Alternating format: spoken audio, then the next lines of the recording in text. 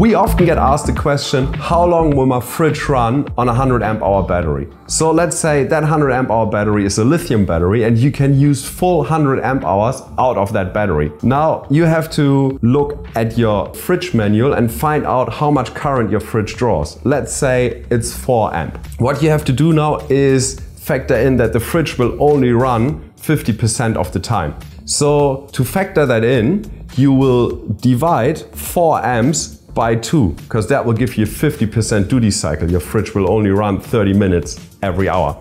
That leaves us with 4 divided by 2, which gives us 2 amps that the fridge will draw every hour. So it will take 2 amp hours per hour. If you now want to find out how long the fridge actually runs with your battery, you divide 100 amp hours by 2 amp, which will give you 50 hours as a result, and there's your answer your fridge will run 50 hours on your 100 amp hour battery when it's drawing 4 amp.